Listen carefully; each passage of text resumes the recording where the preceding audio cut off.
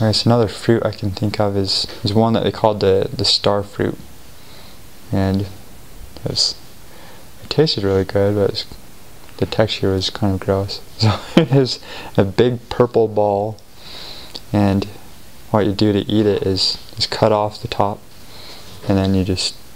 kind of squish the guts in your mouth. And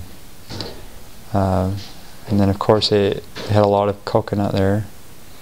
and they what a common thing they did was take um, a coconut before it was ripe and it just had water in the middle and they would cut off the top and